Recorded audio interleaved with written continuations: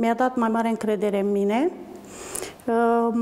Am găsit alte oportunități pentru copii, că știm că trăim într-o eră computerizată și uh, ei efectiv uh, se nasc cu anume competențe, anumite competențe digitale, dar uh, deseori sunt folosite în alte direcții decât în a învăța.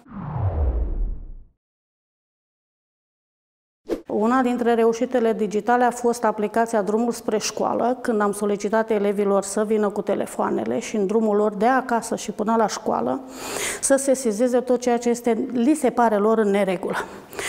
Și au fost foarte drastici, să zic, au depistat orice gaură în asfalt, orice creangă ruptă care încurca circulația, orice indicator rupt, după ce au venit, le-am pus, le-am prezentat la clasă, dar am înaintat o petiție către primăria comunei și vreau să vă spun că în două-trei săptămâni, să nu exagerez, s-au îndreptat lucrurile.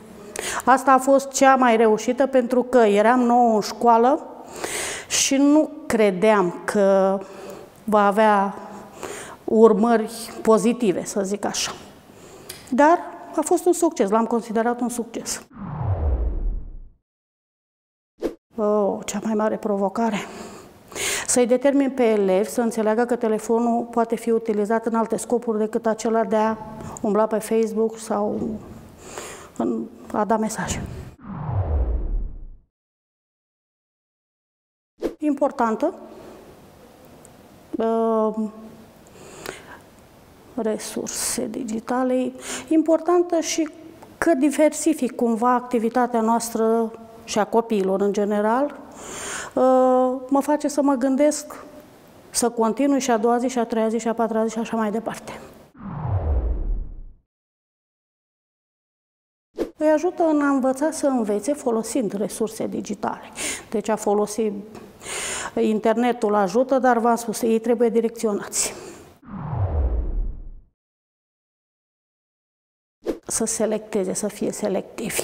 În a selecta informații, pentru că știm că internetul aduce fel și fel, și negativ și pozitiv. Și aici trebuie direcționat copilul să ia ce trebuie pozitiv, pentru că altfel se pierd. Terminăm o aplicație, de exemplu, când mai facem, de se simt foarte bine, relaxați, pot spune învață altfel. Mă simt și eu altfel. pentru că își ușurează munca. Eu, asta este părerea mea și am recomandat și am chemat și am invitat și pe colegi și profesori de la ciclu gimnazial să vadă cum se lucrează și Vitor.